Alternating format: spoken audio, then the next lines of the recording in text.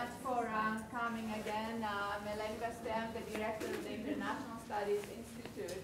And it's really a pleasure and an honor to have um, uh, such a distinguished speaker today with us, both uh, this morning, uh, his lecture on ISIS and Syria that you will hear, but also at 2 o'clock in the afternoon, he will give a lecture on uh, women and minorities in Turkey in Smith Hall, so you are invited to both television posters. Uh, but uh, before um, we um, go to the lecture, I would like to thank the groups uh, that uh, rose to the occasion and uh, made this um, visit possible.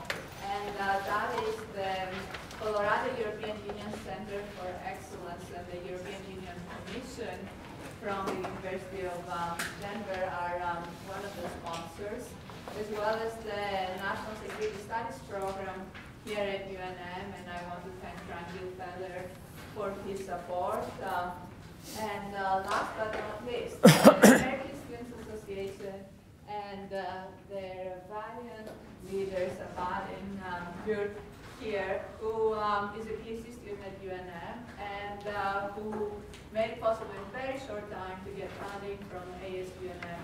And uh, I thank him, I thank the advisor, uh, my colleague, and um, the students who um, joined in to welcome them. And I would also like to welcome um, Sinan's mother, Ms. Ciddi, and uh, we are very happy to have her all the way from Istanbul. She's an artist herself, and um, delighted to meet um, the student community here. Now it is also a pleasure to introduce um, our colleague Amina Tawassul, Dr. Tawassul, who is the uh, lecturer at uh, the International Studies Institute, who will be introducing our speaker, Mr. Sinan Ciddi.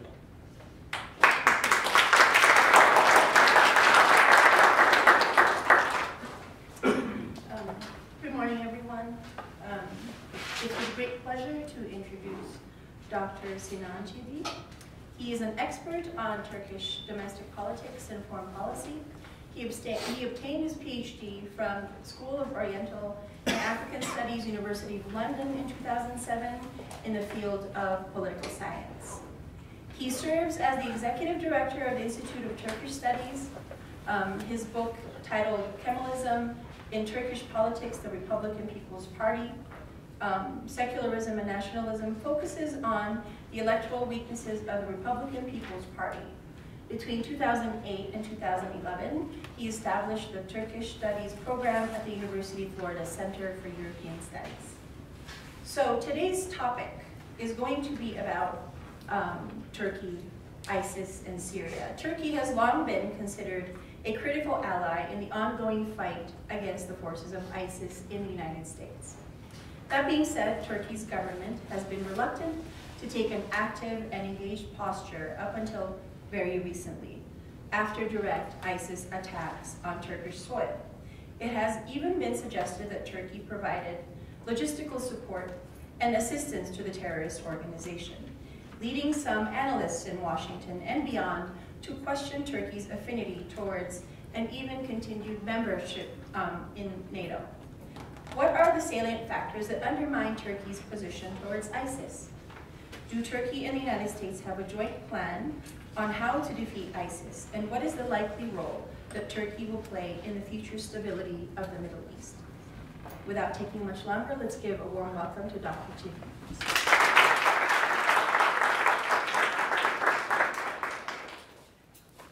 Thank you very much, um, especially to all the sponsors, but uh, my hopefully friend and colleague now, uh, Dr. Eleni Bastéa, who spearheaded uh, this invitation and worked tirelessly behind the scenes. It's, if you ever get to um, you know, have to invite somebody to a university campus, it's a lot of work. Um, so I do appreciate all that, uh, the time and effort that you've taken to make this possible. With that ado, um, if there's anyone in the, in the audience who is friendly with the um, police force here, I did get a speeding ticket recently, so um, if anybody knows how to waive that, um, if you have any connections, that would be wonderful. I'd rather not pay that. Um, but you know, other than that, that's, I, I, also got one recently in, in Virginia, so I don't think I have an issue of speeding, but I apparently I keep on missing 45 mile per hour zones. Um, and whether it's just karma or something else, I'm not sure. Um, but it's certainly nice to be out of the Washington, D.C. area um, and in the desert for the first time in a long time. The last time was in Arizona. Um, but here is quite different, um, and it's a, distinct pleasure to be able to address um, a lot of you here. So thank you for making the time um, and, and taking interest in this.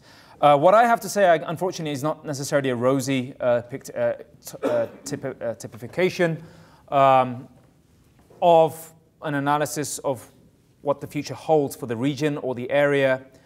Although the title is specifically targeted on looking at the Islamic State, and its, and its future spread and its containment. Um, what I'm about to present is a very sort of regional perspective, and I think this hopefully might go to, for those of you who are interested in this, really to the crux of the problem of what we are hoping to deal with as a country here, as a national security establishment here, um, but further afield also with the United States as international allies and partners, but also um, regional entities such as the European Union in really nailing down the problem. And my essential argument that I would hopefully try and present to you is to state that the longer that there is continued inaction on the part of great powers such as the United States and its partners, not by itself, but the United States and its partners, the longer that that is allowed to precipitate and continue, the more this problem will become protracted and entrenched from the perspective of regional disputes, from the perspective of individual countries, national and particularistic interests, namely that of Turkey for, on the one level, but by no means limited to Turkey, but countries such as the Russian Federation, such as Iran, and also such as uh, other entities such as the Saudi Arabians and the Qatari Gulf states. Um, so, um, like I said, it's very much of a regional perspective, but if we were to look at the, the map overall, in terms of the Islamic State, what it means for the region, I think the best way that we sort of can typify this is to say that this is possibly the single largest threat to international peace and security that we have known, probably since the end of World War II now.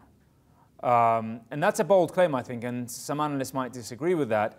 But certainly from the perspective of regional analysts that are looking into this, um, the single largest threat to basically challenge collective international peace and security, mainly because not of the military might and prowess of the Islamic State, but the pull factor that it presents to possible conflictual relations that might emanate from that in the very near future. Um, how can we how can we sort of characterize this? Well, first of all, from the perspective of humanitarian perspective. I mean, this is the one, unfortunately, that power play, you know, real, the realist paradigm of international relations or, you know, great power struggles between uh, powers such as the United States and Russia care least about. Uh, this is the largest displacement and migratory flow of refugees that we have seen, certainly since World War II.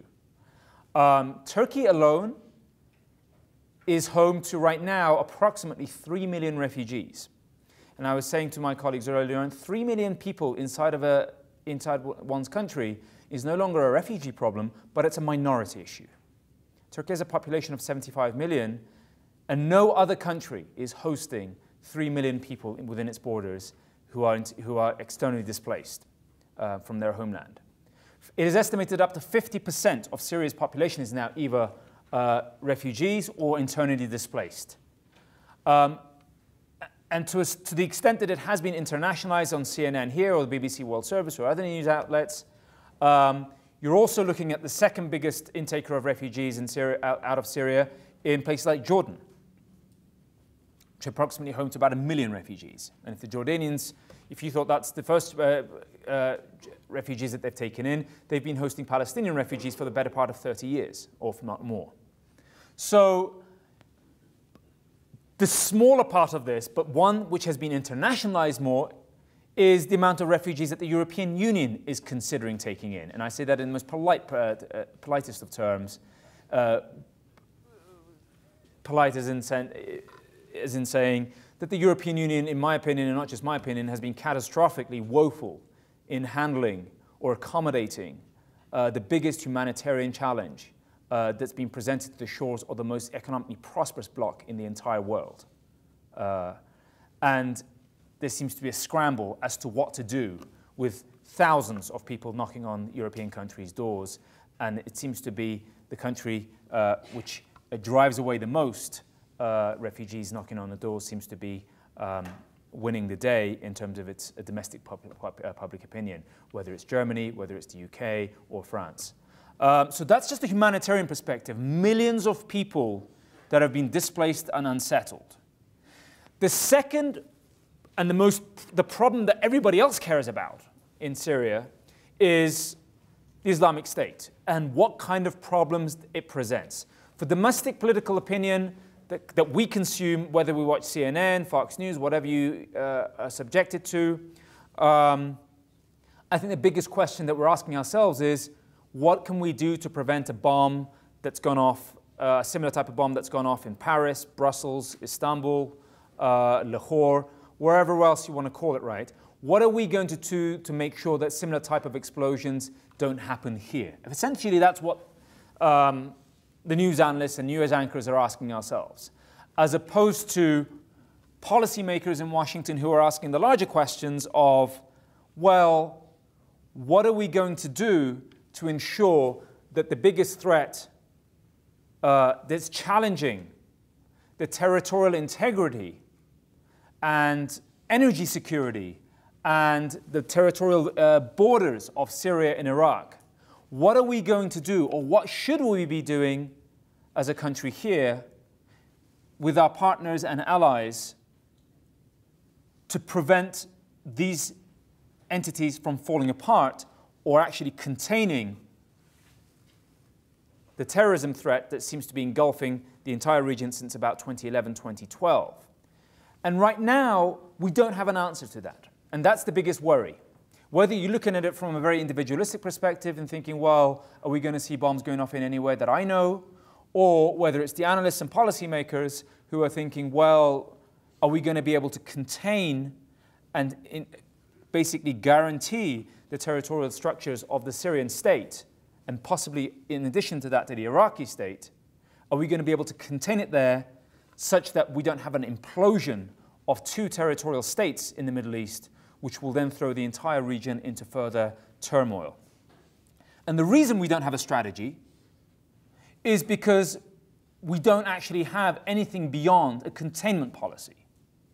Right now, if you ask anybody what's going on, what is the United States and its partners or the Western Alliance doing to contain the Islamic State? The answer is twofold. One is aerial bombardment campaigns against Islamic State uh, targets in northern Syria.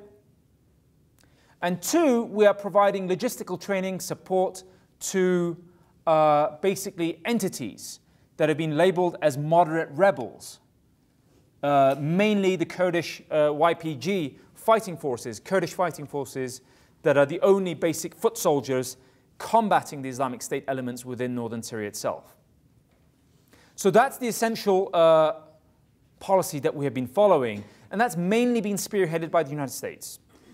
Uh, there are French fighter aircraft to a certain extent, uh, as well as possible British elements uh, that is helping in, uh, in these aerial bombardment campaigns. But the, you know, the, the, the legwork on the ground has been done by Kurdish fighters, and the aerial bombardment has been carried out by US forces um, from, from air bases taking off uh, predominantly in Turkey. And this is where Turkey has been a game changer. Right? If you ask, uh, you know, what is the role that Turkey plays in basically being able to fight or take the fight against Islamic State, and if it's an indispensable ally, the question from the US perspective is yes, Turkey is quintessentially the possibly the biggest ally on the ground or in the region that will help defeat the Islamic State forces. Why? Geographic proximity. Until Turkey opened up its air bases to American fighter aircraft with the specific intention of bombing IS targets. Uh, these bombardment campaigns had to be carried out from US uh, aircraft carriers in the Persian, stationed in the Persian Gulf and fighter aircraft taken off from air bases in Saudi Arabia and Kuwait. The problem with those locations is by the time that US fighter aircraft took off from these locations and carried out their bombing raids on Islamic State targets in northern Syria and went back, you're talking in thousands of miles distance. It's a fuel problem. Fighter aircraft that now take off from Turkey, it's less than 100 miles across the Turkish border into Islamic State. What now is happening is a 24 hour non stop bombardment cycle against Islamic State uh, targets.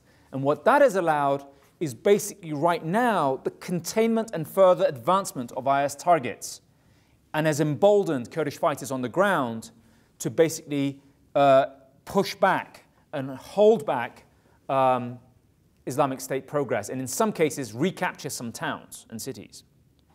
But is that going to be enough? Is that going to see the overall defeat of the Islamic State? And the answer to it, as if you listen to any military and uh, uh, military strategists in Washington or analysts uh, in think tanks and whatnot in my part of the world, the answer to that is likely to be no.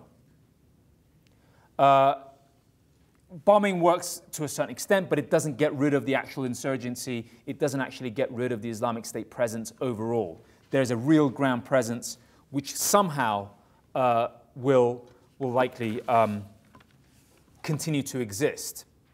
And prior to the Islamic State, it was the prevalence and spreading of other non-violent, sorry, non-state violent actors such as Al-Qaeda, which has allowed basically, since uh, the security of the Iraqi state being able to uh, continue to flourish and transform into what is now known as the Islamic State. So more concerted effort in the longer term will be necessary to basically contain and eradicate the Islamic State. Unless we do, you're going to see the morphing of the Islamic State into likely other cultish names that we have yet to hear about. And the reason I say that is up until recently, or up until 2012, we have been basically reluctant to get involved to remove the Islamic State for a variety of reasons. In 2012, when this whole started issue started flaring up, we were in an election cycle in this country. And the present administration was not interested in leading the country into a third war uh, at an election cycle when there was little public stomach for it. Secondly, there is also an understood and implicit understanding from hard fought lessons or hard learned lessons from the military perspective. That is the case examples of not only Iraq and the Afghanistan campaigns, but also the campaigns of Vietnam, which basically suggests that since World War II, the US military has not engaged in any military campaign which has ended in a successful and defined outcome. And that's shocking. Uh, and the military strategist's advice to the present administration or subsequent administration, which will have to deal with this, is if you are looking for a credible strategy that will say this is what it means to have a successful mission outcome, that we've eradicated the Islamic State, then we not necessarily have one for you. What is an acceptable mission? What is a successful mission to remove the Islamic State? Does it require American troops alongside partner countries' troops to go in and take out the Islamic State? Do we then stay and help build the country back up, the Syrian uh, state back up? Does that mean, do we, will we then have a mandate to remove Assad or keep Assad? What will be the perspective of regional countries such as Iran, Russia, Turkey, Saudi Arabia, and Qatar, who have vested interests and voices in the future of Syria? You see, the longer and the more you continue asking these questions, the more it becomes apparent that there is no easy answer, and defining success becomes almost impossible. And I'm not here to necessarily suggest a policy, but I'm just here to sort of point out the intricacies and the complications of this problem. But continued inaction to remove the Islamic State is resulting in uncontrollable and prolific bombing campaigns in major world capitals and cities. So the fight is now no longer contained within Syria itself, but it's being brought to the doorsteps of Western countries as well as, yes, probably the United States in the future. intelligence agencies, the military, is not, are not saying to you if it will happen in this country, it's a question of when it will happen in this country. We do not possess the capacity, either here or in mainland Europe, to prevent ad hoc, non state violent actors taking matters into their own hands and carrying out continuous bombing campaigns or more terror attacks. And we've been saying this since the days of 9 11. So this will continue to grow. That's one aspect of it. The other aspect of it is why should we be concerned or curious about the future stability and territorial integrity of Syria as an American state here? Why should we care? Why is it our business? Uh, and some of the criticisms that have been leveled is saying, well, the United States should not be the global policeman. It's not our job. Isn't it the job of the local and provincial countries that neighbor the, or exist in that part of the world? Is it not also the job of institutions such as uh, the European Union, who also have a vested interest in regional security of Syria? And the question is yes, these are all right. And the argument that I would suggest is this is not a problem that the US has to solve alone or be involved, alone, involved in alone. But it is one which can basically uh, very much concerns our own national security interests. Why? If the Islamic State is left unfettered and unchecked, this continues to grow. Containment only works so far. But two, in the absence of direct intervention in Syria, what you are looking at is possible state collapse. The similar warnings are being issued for states like Iraq, the future territorial and regime stability of Iraq. If these two countries are allowed to basically go unchecked and fall apart in terms of regimes, then you are looking at the possibly the destabilization of the Middle East en masse unchecked and uninterrupted by great power play such as NATO and the United States, this will continue to lead into major regional rivalries by individual member states surrounding those two states that I've just talked about. And foremost amongst those is Turkey. And that's where the regional perspective comes in. Turkey, which has been a NATO country since 1952, is now involved in the fight against the Islamic State as a secondary aim, not a primary aim. And that should give you some concern. And, but Turkey is, no, not, is in no shape or form alone in this.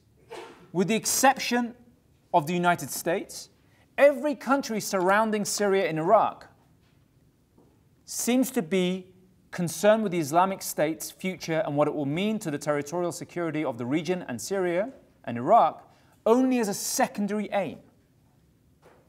Turkey's vested interest in this part of the world right now is two things. One, to prevent the future formation of a Kurdish state in northern Syria, and two, the absolute unconditional toppling of the Assad regime. Those are Turkey's major goals. Iran's major aim in the region with respect to the Islamic State and uh, Syria is not necessarily the form of uh, the Islamic State, that's great. But what comes afterwards is they would like to see the presence of continued Assad rule, or certainly the rule of a Shiite friendly regime that is friendly to Iran. And that's also the same with the Russian Federation. The Russian Federation has not advanced in terms of military and strategic interests into this part of the world or any part of, this, uh, any part of the world since the Cold War to the extent that it has under uh, Vladimir, Vladimir Putin. It is running campaigns in the Ukraine in a land grab operation. And it's also established air bases and placed and positioned uh, Russian troops within Syria itself. That is the most bold Russian military and strategic expansion that we have seen since World War, uh, sorry, the end of the Cold War, with the specific intention under Putin of making the Russian Federation a great country again, a great power again. Unchecked by NATO and its partners, but possibly spearheaded by the United States, what you're looking at is a storm in a teacup, which is already, already brewing right now. The Turks, because there is a lack of an overarching NATO presence or a NATO strategic policy, or a policy spearheaded by the US, the major power in the region, the Turks are basically following their own game. And that game is the toppling of the Assad regime and insisting that an Iraq, a, a, a, a Kurdish state is not formulated within northern Syria itself. Up until the early 2000s, Turkey and the Syrian uh, state were at loggerheads. They were not allies, they were not even close friends. They almost came to war in 1998. But the Turkish president, since about 2007, when he was prime minister, started a campaign of basically what they refer to as zero problems with neighbors and engaging regionally with Middle Eastern states. And that included the Assads.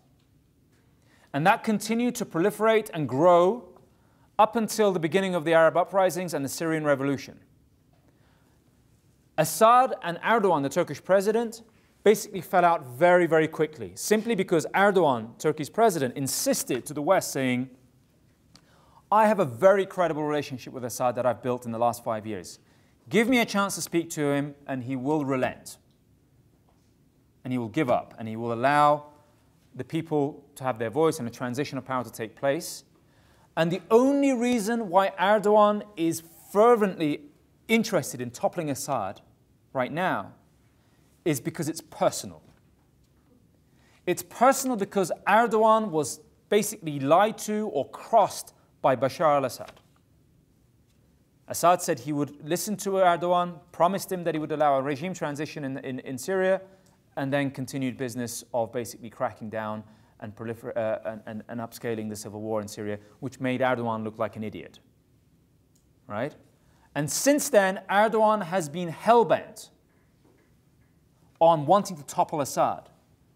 And what we have seen since 2012 is Turkey, a NATO power, basically facilitating or trying to facilitate a regime change, the first in Turkey's political history, and allowing and funding and logistically supporting any and all opposition groups in Syria that have a vested interest in basically toppling the Assad regime. So, who are those people? Who are those groups? Uh, these people you should be concerned about. You've probably heard of some of them. Jabhat al Nusra. Jabhat al Nusra, otherwise known as Al Qaeda. The Islamic State, whose fighters have basically received hospitalization, logistical support, training, and weapons from Turkey. The Erdogan state has allowed foreign fighters to fly in through Turkey, use Turkey as a conduit to join the Islamic State ranks, because that's what the Islamic State requested in return for not bombing Turkey initially. And between 2012 to 2015, Turkey was labeled essentially as a jihadi highway. And those jihadi structures in Turkey have now basically established very, very strong networks, entrenched existence, cells. And although Turkey has clamped down on this in terms of preventing foreign fighters going through Turkey, those networks and cells which came to operate in Turkey are now striking against Turkey.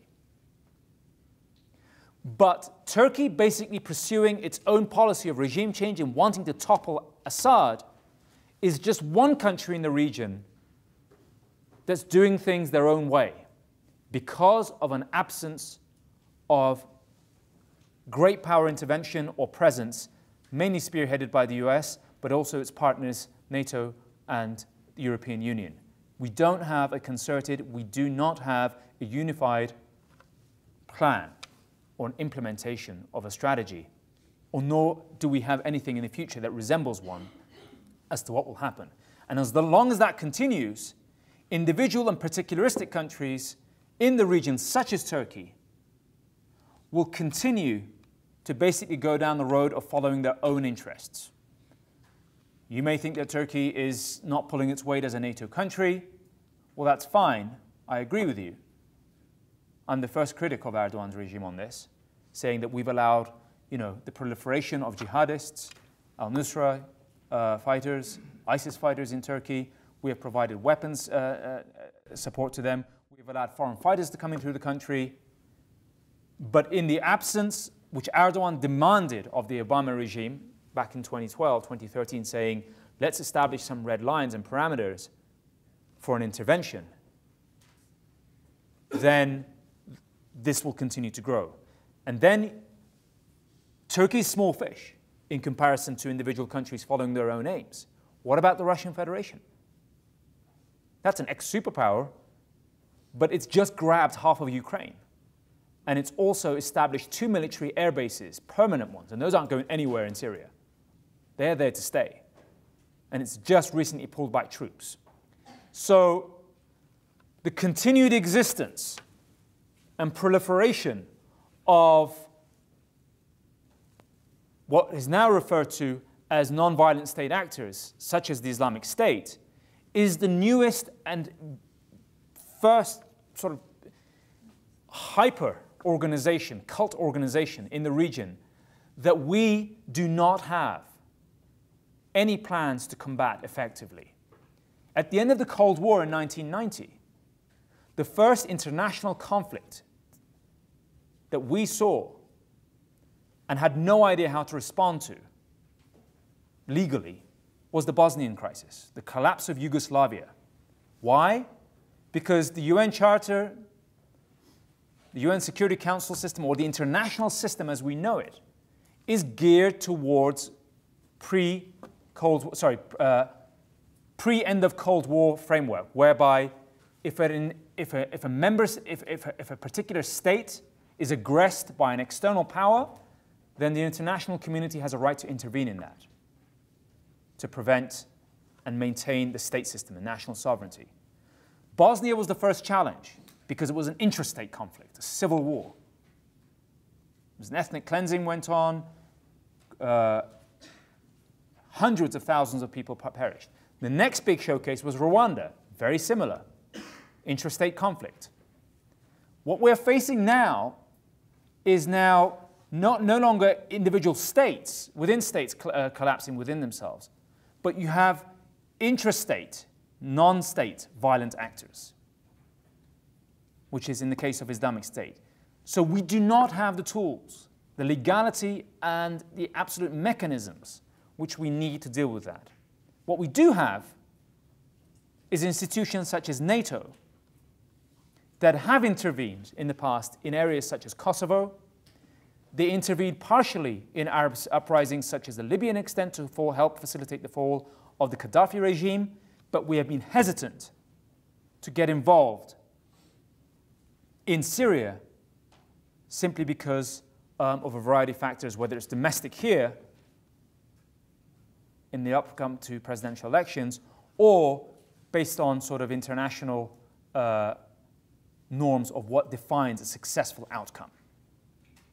But in the absence of all of this, in the absence of intervention, what we're unfortunately like to see is continued rise of particularistic interests furthered uh, by domestic actors in Turkey, such as the presidency there, or former great powers such as the Russian Federation, um, basically in tandem with other powers such as Iran, pursuing their own national aims.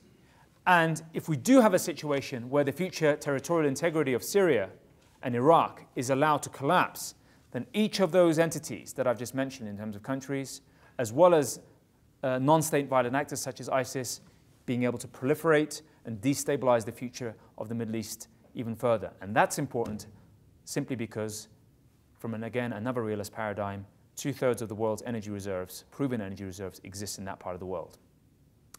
Thank you very much, and uh, hopefully I'll take some questions if you have any, but thank you very much.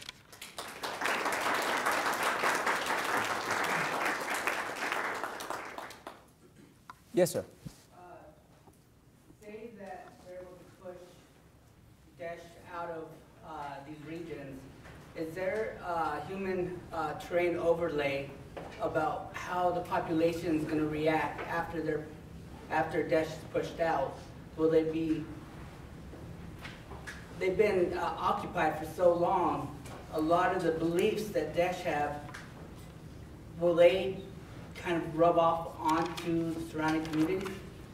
That's a very good question. I mean, that's, I mean, so these are all the scenarios of, a, of an after-after scenario. So the first problem, obviously, is what you have is Syria as we know it, and that the internal map of Syria is changing day to day based on whether you know the Islamic State loses one town or another town or, or takes over another piece of territory. So it's a very fluid map.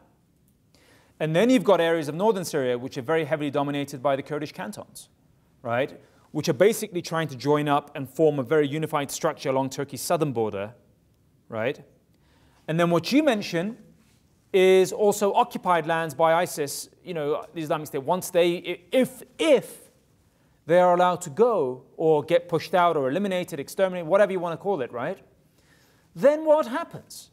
Um, because there are so many unknowns that come out of this. So have the local population bought into the ideas uh, that have been disseminated by the Islamic State?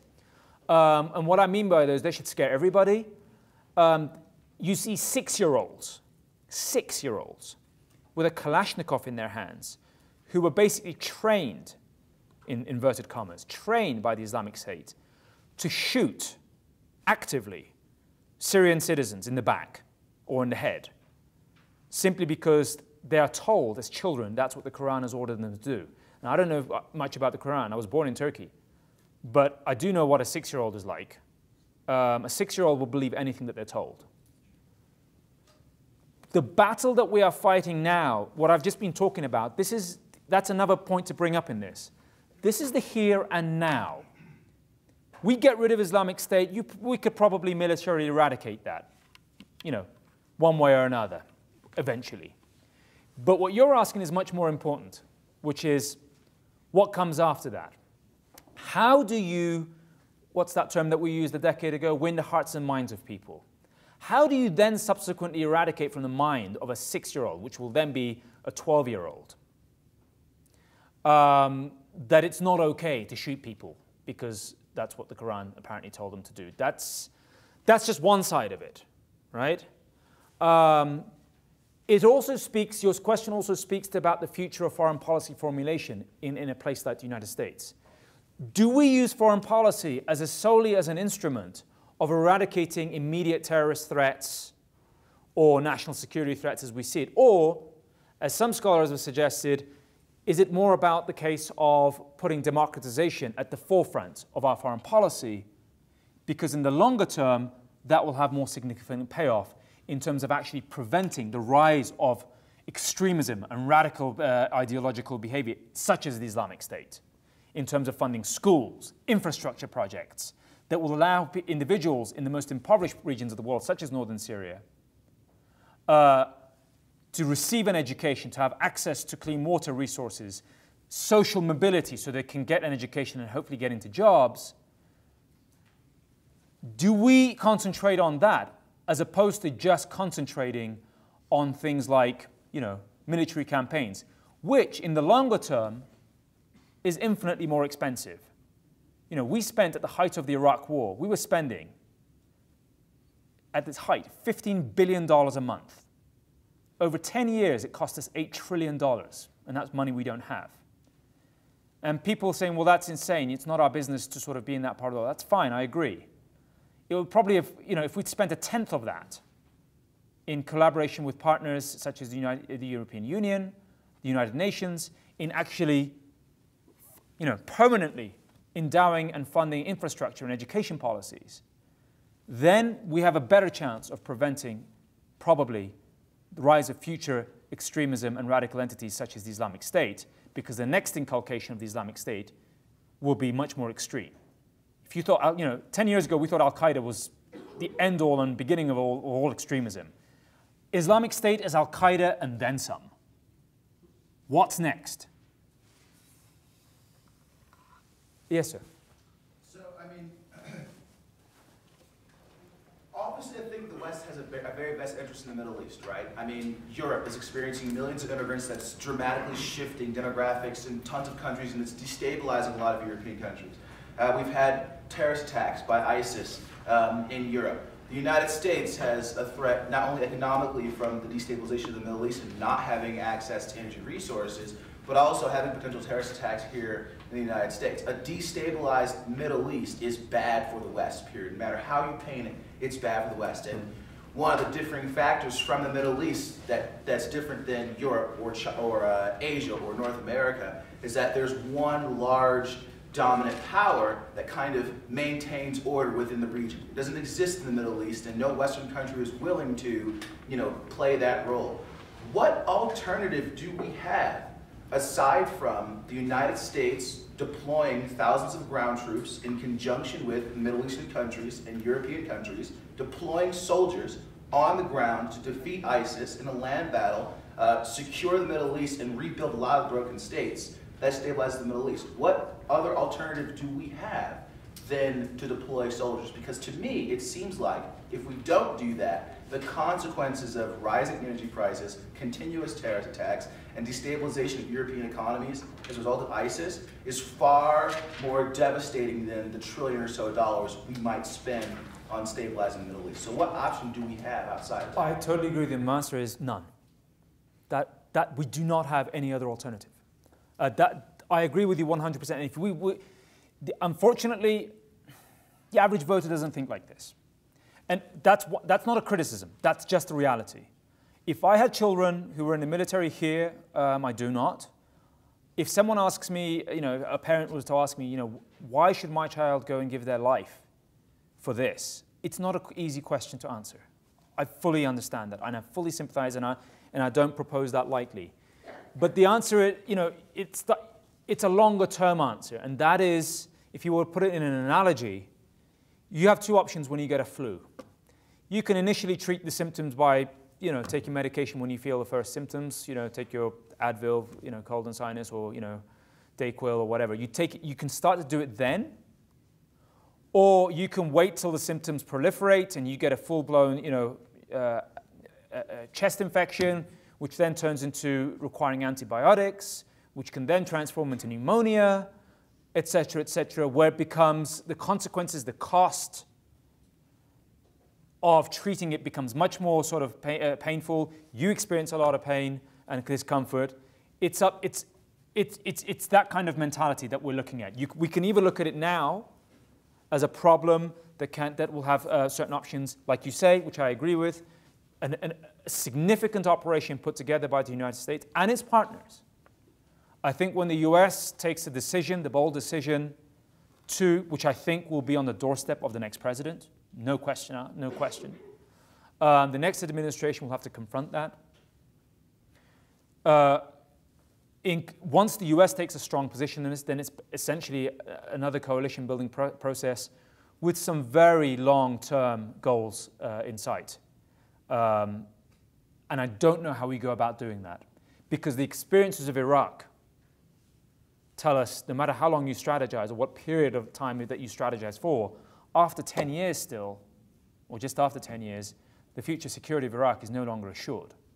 Um, you know, pundits, talking heads, analysts, no matter who you call it, it's only when they're all asking when will Iraq break up again. So how we do it is another question. Whether we do it, I'm fully agreed with you. It has to be done. Um, not doing anything, it just you know. Another analogy is you can spend one dollar doing it now, or you can spend ten dollars trying to tackle it later on. You pick um, if, it, if it, on just a financial issue. Um, but that's why until we learn the lessons of what our foreign policy should be, do we just treat the symptoms, which is a problem of extremism, terrorism, non-state violent actors, do we just deal with that when we need to? Or do we deal with, start dealing with the root causes of this? The developed world, such as the European Union, the United States, the developed or developing world has a vested interest for very materialistic and immediate reasons for becoming engaged permanently in the affairs of the most impoverished part of the world because unless we do, what we're seeing with the Islamic State and the Middle East is just one, the first of major problems that's likely to crop up in other parts of the world subsequently. In one, at one level, it's a battle between haves and have-nots. Um, we've been warned about, you know, scholars keep, have been warning about this for decades. Um, but yes, I do not see another alternative to it. Yes, ma'am. Um, would you elaborate more about um, what's going on in Turkey? I mean, the recent explosions, I mean, the impact of this is on Turkish soil. Right. I mean, you talked at the high level, I mean, Erdogan's policy, but can you just give us a Sure. more perspective about what's going on? So, with, with Turkey's um, perspective on this, Turkey, as I said, was Erdogan's policy initially, after repeated warnings, after um, lambasting by the administration here, as well as uh, journalists, etc., saying, stop aiding and abetting all foreign fighters and extremist elements in Syria to topple Assad because it's not helping anybody. Erdogan didn't listen. And in return for this facilitation of Islamic State and controlled activities by the Turkish uh, regime, um, what you saw was a, tacit, a possible tacit agreement between Turkey and the Islamic State authorities, to what extent they exist, to basically hold off on Turkey. Now, where that changed is under insurmountable international pressure uh, on certain highline issues. The siege of the town of Kobani uh, by the Islamic State, which is visible across the Turkish border, right? It's like, um, you know, looking at Tijuana across the US border, can, it's just visible, right? You see, and that town was besieged by uh, Islamic State fighters, and it was a major battle between uh, the Kurds of Kobani and the Islamic State. And it's also on the poster of this presentation. Um, what the Turkish military did was essentially place tanks, Turkish tanks, on its border and just watched as the town was ravaged by um, the Islamic State. And the Kurdish fighters managed to hold out, and under very intense US and international pressure, conceded and allowed Kurdish fighters to come in from Iraq through Turkish soil and into Kobani to help their kin out. That resulted basically in the end of the tacit agreement between the Turkish authorities and the Islamic State. Months after that, what we start to see is the first of a series of bombs um, targeted by the Islamic State that went off in Turkey. Uh, there are over six now, six explosions, not all of them Islamic State owned, but at least half of them um, that have gone off in Turkey. So this is a reflection of the cell network and the strategic network of the Islamic State and foreign fighters' presence in Turkey that has become entrenched. So we see random bombs going off in Turkish towns and cities, one in Ankara, you know, sorry, not one in Ankara, several in Ankara, two in Istanbul, uh, one in Suruç, which is a small town near the. Um, and security experts in Turkey, as well as here, they're saying more are going to go off because these cell structures are not basically um, you know, accountable to anyone financially, strategically. They have their own game. It's a very radical organization. Um, Turkey has a pretty good intelligence system, but right now it's not focused on basically doing the bidding of intelligence work. It's doing the bidding of Erdogan's work. It works for Erdogan. Not, it doesn't maintain its bureaucratic independence. So here, for example, you have the National Security Agency, the Central Intelligence Agency, the FBI. These institutions have strong sense of you know, bureaucratic integrity. You know, they have certain operational parameters that advise the administration in terms of pos- seldom there have been reports of it, there's been writing about it, seldom there are reports of the administration, the political administration, bearing down saying, find us what we need to take on WMDs or whatever. And those are the instances that have come out in recent memory. But in Turkey, what we have is the political administration deeply politicizing the administration of national intelligence, the military responses to it, and basically saying this is what we require to do. So Turkey right now is what I will call in sort of, um, you know, Alice in Wonderland terminology, we're, in, we're, we're down the rabbit hole. Um, it's not a sensible, sane, and rational government it's basically at the whims of Erdogan's own will um, in terms of how we would like uh, the country to respond to it. So, um, and Erdogan has profited politically out of these uh, bomb attacks. And you know, this is where the conspiratorial theories come into it.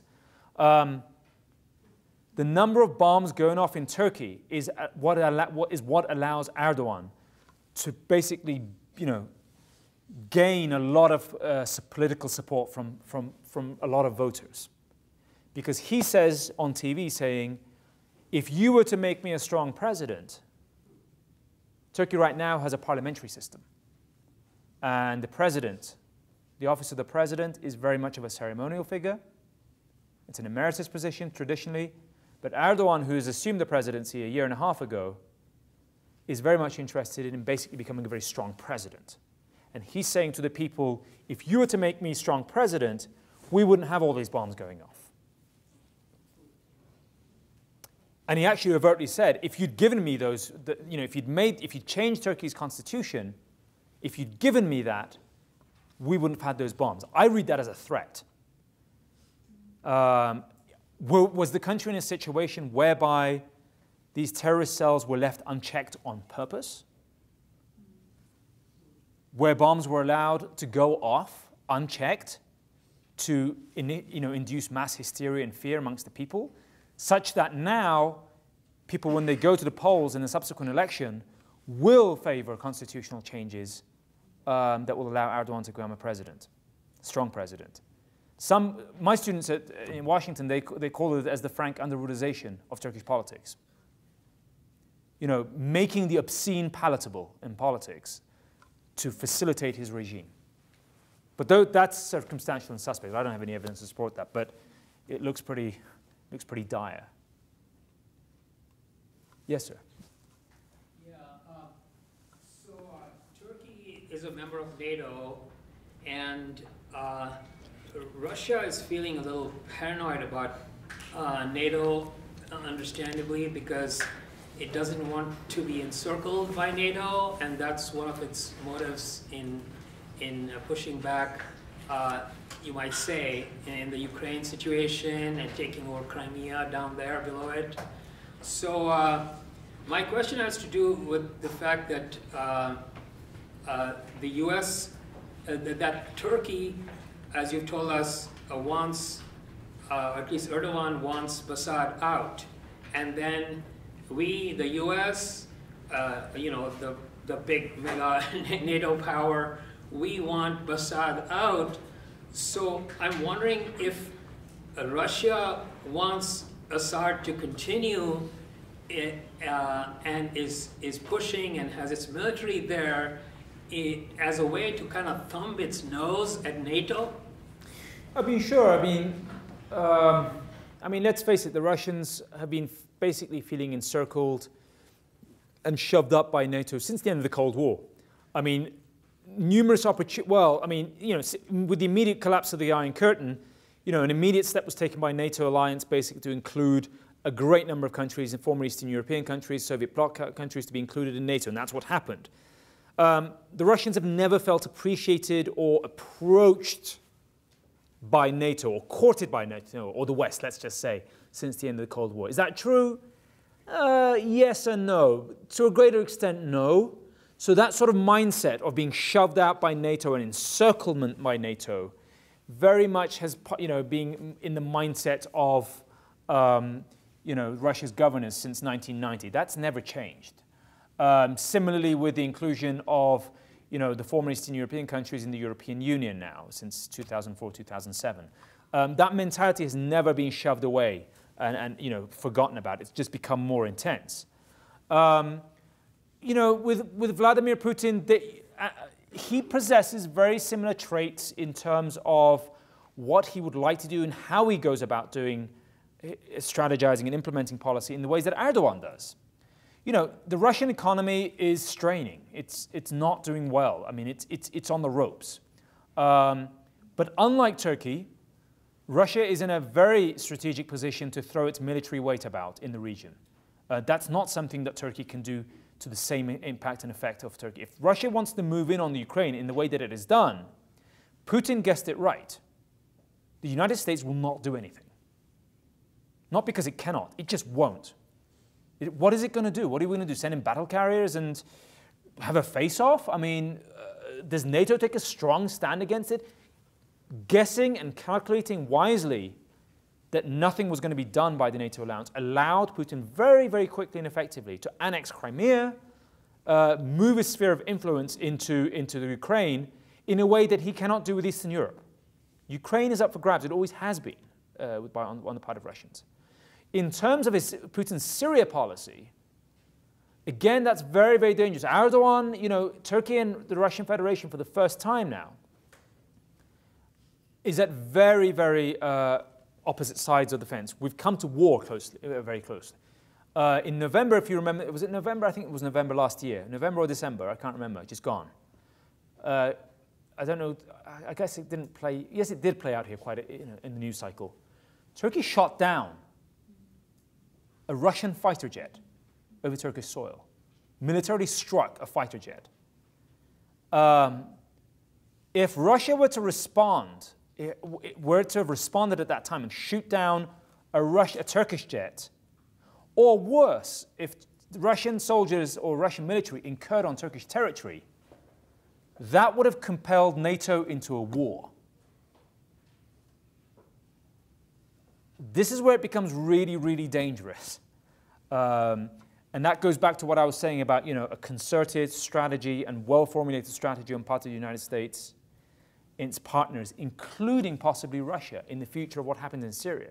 Because if we don't, the Russians are interested in basically establishing or continuing an Assad friendly regime in, or a Shiite friendly regime that's sympathetic to Russians. Uh, the Russian forces are also shelling and primarily hitting not Islamic State targets, but rebel targets which are supported, some of which are supported by the Turks. But Turkey is not, is not a country that can go military, militarily toe to toe with the Russians. We, we're, we're NATO, sure. You know, we have, a, we have more game against the Syrians directly or, or the Iraqis or any other power in the region, save for the Israelis. Um, but we can't go toe to toe with the Russians. Um, and Erdogan knows this. Uh, but shooting down a, a, a, Russian jet was a very, very bold gesture, a folly. Uh, you know, I'm not saying I'm not praising it, but it sends a very strong signal to the Russians saying, you know, you're, you're moving stuff around here in terms of moving on in Ukraine or basically establishing yourself in the Russian, in the Syrian state and having your game there. Fine. But I'm also signaling that I'm not shy, shying away from provoking an attack by you on my soil, which will, which will implicate NATO powers. This is the kind of uh, power play, saber rattling and power play that's going on in the region right now. Um, and it's very, very dangerous and fluid and fragile. Yes, ma'am. What would Erdogan want from the U.S., from oh, Europe, from NATO? That's a great question. In order to stop backing ISIL and, and um, well, they've stopped doing that. But pursuing the Islamic State as a primary aim. Okay. Turkey just has a lot of wants. We don't want the Iranians what, practicing what they call sectarian politics in Syria. We don't want Russians having a foothold in Syria and facilitating and propping up a Shiite friendly regime, whether it's Assad or anyone else. At this point, they don't really care. But the Turks don't want that. Um, we also want Assad gone, period. But the Americans are looking at this and saying, look, there are two major problems here. The major problems are a post Assad Syria. We're asking a legitimate question in this country. Are we safer off globally, regionally, internationally, whatever, in a Syrian situation where a regime or the Assad regime continues for a while? If so, what will that look like? Or are we better off without him completely? Who's going to manage the country? Who's going to rule it? Um, that's a legitimate question. And the other question that we're, say, uh, that we're asking is, what will it take to defeat ISIS? Um, and those are questions that Turks aren't necessarily answering. So what it will take for the Turks to com comply right now is the American, uh, uh Turkish American assurance to the Turks saying, one, we want Assad gone, which is not going to happen. It's not a blanket policy that the US is pursuing. And the Turks can be brought round to that. They'll have to. Two, what we're going to, the Turks will really require in terms of assurance is one that we've, the Turks have been asking and getting for a long, long time, which is guaranteed assurances that a Kurdish state will not be formed in northern Syria along Turkey's border. Turks have basically won, that, won and asked and gotten that since the first Gulf War.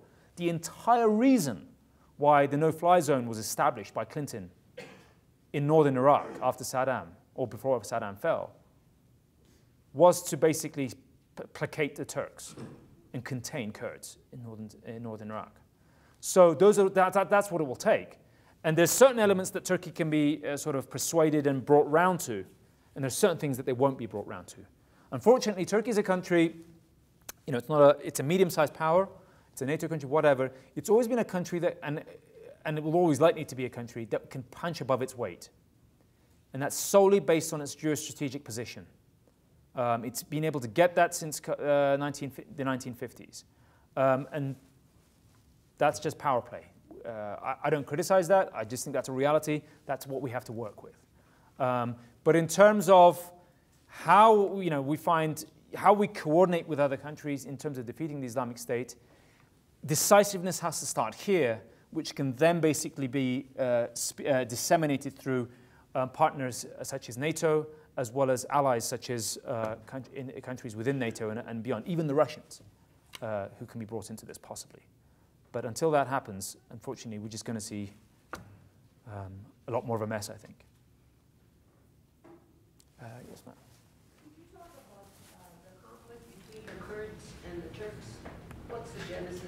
Sure. Um, so the, the Kurds, what you can term the Kurds as, is the largest stateless nation in the world, in that, certainly in that part of the world, right? The territorial ambitions span uh, southeastern Turkey, northern Iraq, northern Syria, parts of Iran, historically under the Ottoman Empire. It was a province of Kurdistan for a great long amount of time.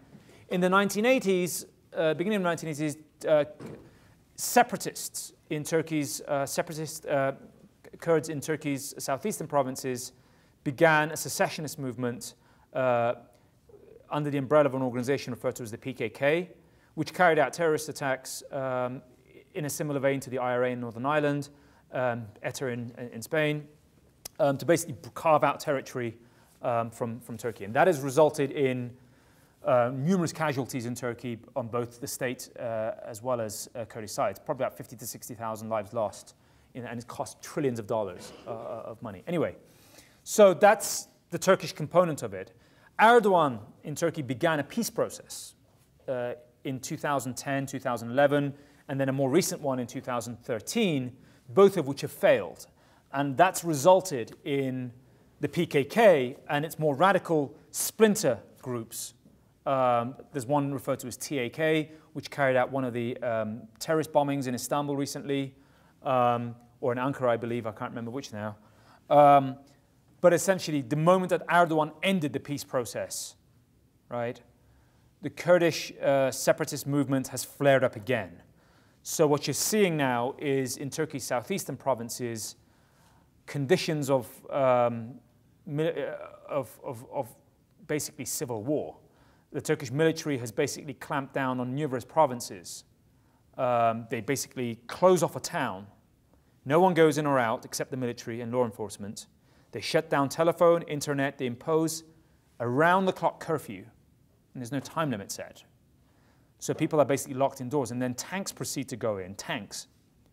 And they basically reduce these towns down to rubble, right? It looks like downtown Damascus. No kidding. Um, and the idea is under the, under, under the name of fighting terrorism, because they say there's terrorist elements um, within these towns, and there are. There's no doubt about it. In, in, in, in addition to pursuing terrorists, what they also seem to be doing, the, the military is being told by Erdogan, is basically punish Kurds. Um, so you, you're, you're, seeing civilians killed. And when you, you're talking about women, children, elderly, getting summarily executed and um, killed by sniper fire. Um, it plays out in it's, it's, horrific. But unfortunately, that feeds into Erdogan's uh, political campaign.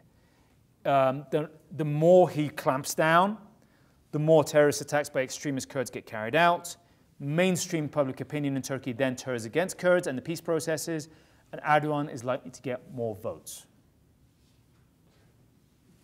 Democracy dies a slow death, essentially. Yes? Um, to what extent do you think Israel's presence played a role in our decision to not take action as a country?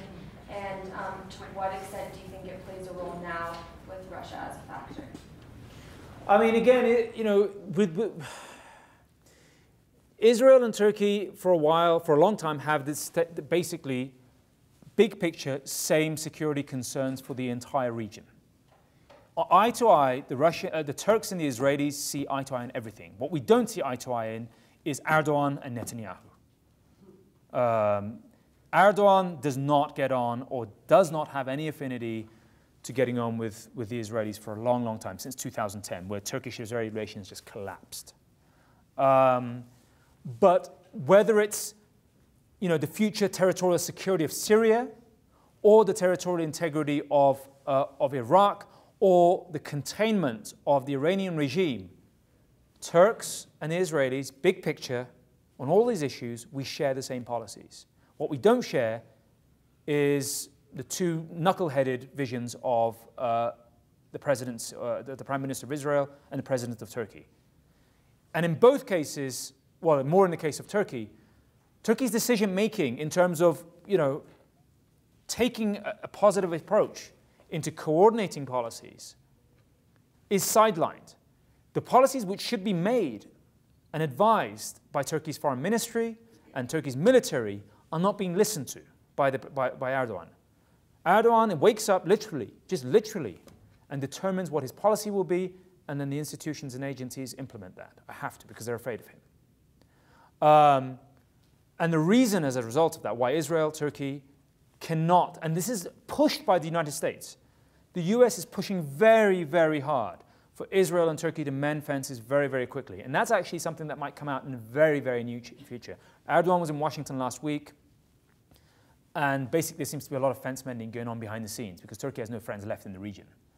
Um, and Israel has been making very, very sort of bold gestures to get Erdogan back on side because security interests for both Israel and Turkey are very, very much on the same page. We want a moderate Sunni regime in Syria. We want somehow for the political containment of Iran, one way or another. We're also in favor of the, of the territorial security and integrity of uh, Iraq. And we also, big picture, would like to combat the Islamic State. But until those fences are mended, we're not getting anywhere.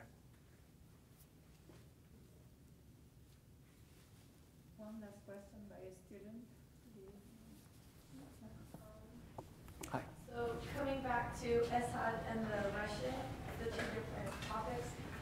When Turkey had bombed the Russian jet, I know that, well, I mean, I researched, but I know that um, Russia had made affairs with Turkmenistan, and they put their tanks on the border close to Turkey. So that was kind of a threat. And I also remember reading something about a German ship being bombed.